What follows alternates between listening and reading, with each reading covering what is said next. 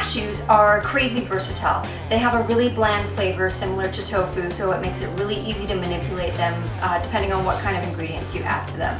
You can make a cashew milk that you can add uh, to like a cream of mushroom soup. All you have to do is blend some cashews and some water in a blender until smooth and then you have a milk. You can add a quarter cup of cashews to a smoothie and that adds about five grams of protein.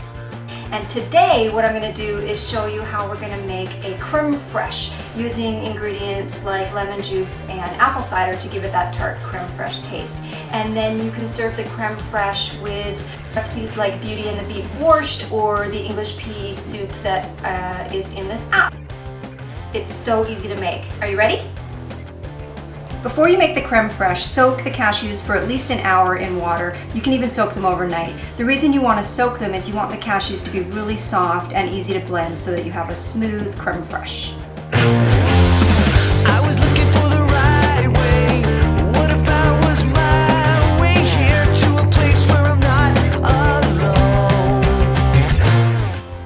The trick to making a super smooth creme fraiche is your blender. I love my Blendtec blender. This thing can turn nuts and bolts into powder. I mean, this is a super blender.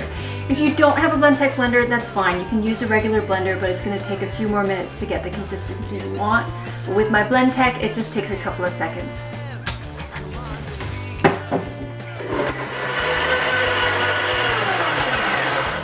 The creme fraiche is almost a perfect consistency, but as you can see, some of the cashews sort of traveled up the side of the blender as we were blending. So you just need to take a rubber spatula and just kind of smoosh them back down to the bottom, give them a quick pulse so it's the right consistency, and then voila, you have the perfect creme fraiche.